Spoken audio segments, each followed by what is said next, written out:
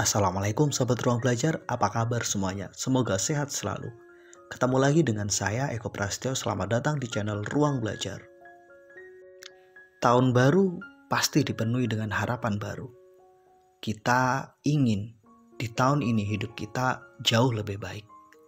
Untuk mewujudkan hal tersebut, setidaknya ada tiga hal yang jika sahabat semua mampu melakukannya dengan sungguh-sungguh, maka saya menjamin insya Allah di akhir tahun 2023 ini Anda mampu menjadi sesuatu yang jauh lebih berkualitas, mendapatkan pencapaian yang jauh lebih tinggi.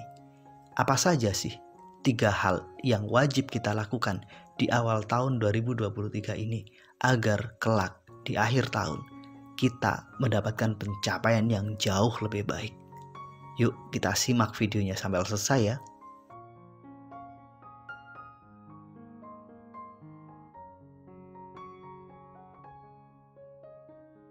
Setiap tahun kita punya resolusi. Kita menyusun satu target, satu harapan. Semua kita lakukan di awal tahun. Tapi kenyataannya kadang di akhir tahun resolusi hanya tinggal cerita. Sementara target dan pencapaian kita gak banyak berubah. Mungkin Anda bertanya, kok seperti itu terus ya hidup saya? Saya sudah melakukan banyak hal, saya sudah belajar ini itu. Saya sudah membuat rencana. Saya sudah berjuang. Tapi toh tahun-tahun kemarin semua nggak banyak berubah. Mungkin Anda lupa melakukan tiga hal ini. Tiga hal yang akan kita diskusikan sebentar lagi. Itu adalah tiga hal yang mampu mengubah hidup kita jika kita serius melakukannya. Tiga hal ini, jika kita mampu melakukannya secara konsisten, maka kita semua sangat mungkin tumbuh untuk menjadi individu yang berkelimpahan, tumbuh menjadi seseorang yang kaya raya, penuh berkah, dan penuh kemewahan.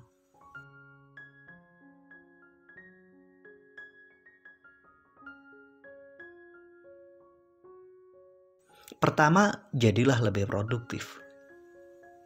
Orang-orang yang lebih produktif setiap saat, setiap waktu, mereka akan mendapatkan pencapaian yang lebih tinggi. Konsistensi untuk menjadi lebih produktif membuat satu percepatan yang hasilnya sangat luar biasa.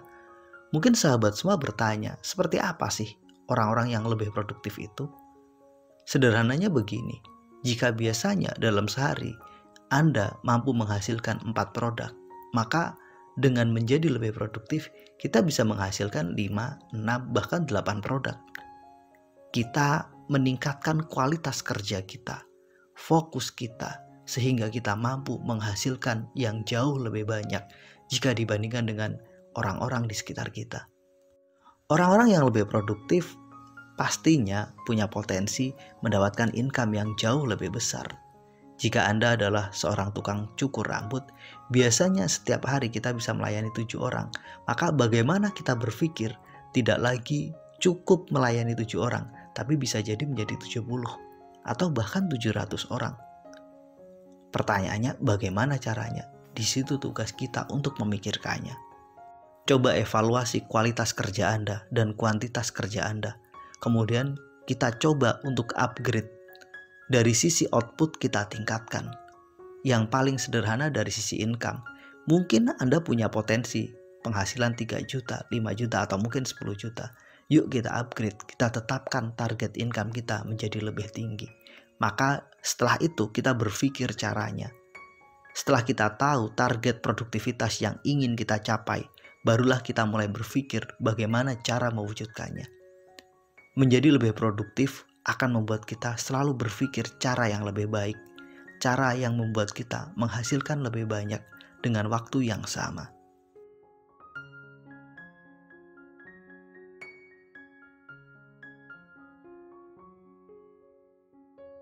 Hal kedua yang harus kita lakukan adalah jadilah lebih bernilai.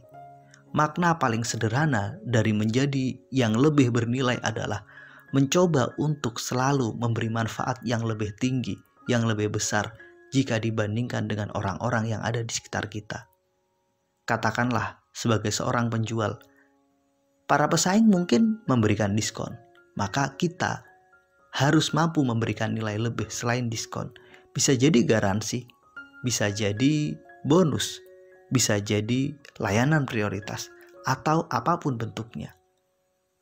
Salah satu latihan agar kita mampu menjadi lebih bernilai adalah cobalah untuk selalu berpikir memberi lebih besar, memberi lebih banyak manfaat kepada orang-orang yang ada di sekitar kita. Dengan selalu berpikir untuk menjadi lebih bermanfaat, hakikatnya kita sedang meningkatkan value dan nilai kita. Ketika kita mampu menjadi orang yang lebih bernilai, maka orang-orang yang ada di sekitar kita yang berkomunikasi dan berhubungan bisnis dengan kita akan mendapatkan manfaat lebih tinggi jika dibandingkan dengan mereka berhubungan dengan orang lain. Karena mereka mendapatkan manfaat yang lebih tinggi, pada titik inilah kita akan mendapatkan satu keuntungan jangka panjang. Mulai sekarang, cobalah pikirkan hal apa yang lebih bernilai yang mampu Anda berikan kepada orang-orang yang Anda layani. Coba pikirkan apa kebutuhan mereka. Setelah itu, cobalah berjuang untuk mewujudkan kebutuhan mereka dan berikan manfaat lebih, berikan layanan lebih, sehingga mereka merasa puas dan kita pun bisa mendapatkan manfaat dalam jangka panjang. Satu catatan terpenting nih, ketika kita mampu menjadi lebih bernilai, tidak otomatis semuanya berubah. Semua butuh proses, semua butuh waktu efek yang ditimbulkan dari menjadi lebih bernilai itu adalah sebuah efek jangka panjang, bukan efek instan yang dapat kita rasakan hari ini juga. Semua butuh waktu. Pada saat semua orang tahu bahwa Anda lebih bernilai, mereka akan datang dan mampu serta mau memberi lebih kepada kita.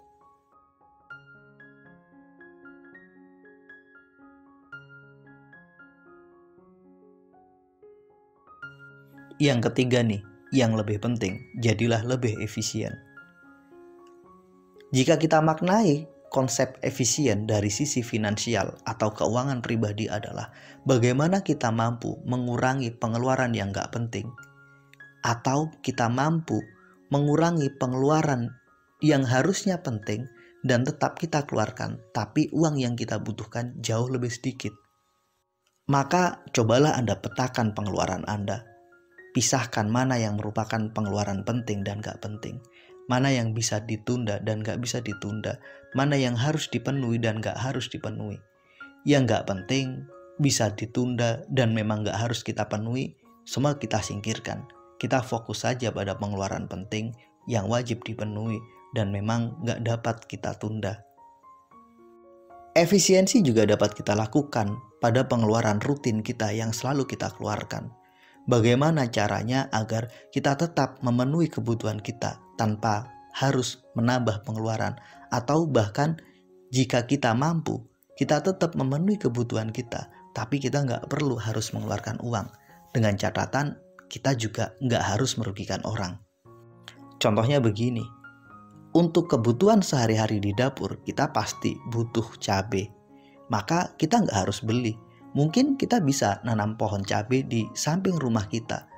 Dua batang yang kita tanam itu sudah sangat cukup untuk memenuhi kebutuhan kita. Dengan kita menanam cabai sendiri, kita sudah mampu menghemat uang. Contoh lain nih, setiap hari kita pasti belanja untuk kebutuhan rumah tangga. Katakanlah deterjen, mungkin membeli telur, beras, atau mungkin minyak. Maka ada baiknya coba deh kita kita belanja dengan sistem grosir. Kita membeli dengan jumlah yang jauh lebih banyak sehingga harganya lebih murah. Biar semuanya jauh lebih efisien, mungkin kita bisa kerjasama dengan tiga orang sahabat kita yang sama-sama pastinya akan punya belanja rutin. Contoh nih untuk beli sabun, daripada kita beli sendiri-sendiri, kita niat saja barengan patungan membeli sabun dengan merek tertentu yang kita sepakati. Kita beli katakanlah setiap keluarga butuh 5. Maka karena kita bareng-bareng lima keluarga, bisa jadi kita langsung beli 25 atau beli satu pak. Kemudian kita bagi deh berlima. Begitu juga untuk deterjen. Biasanya kita butuh 1 kg per bulan. Maka karena ada lima orang, kita langsung beli 5 kilo. Karena kita beli lebih banyak, tentu saja harganya jauh lebih murah dan hasilnya kita lebih efisien. Di sinilah konsep menjadi efisien. Ya, butuh sedikit effort, butuh diskusi dengan beberapa orang, mengajak mereka untuk bekerja sama, kemudian kita bisa mendapatkan manfaat bersama juga. Inilah yang dimaksud dengan bagaimana kita mengurangi pengeluaran rutin dengan jauh lebih mudah dan lebih baik.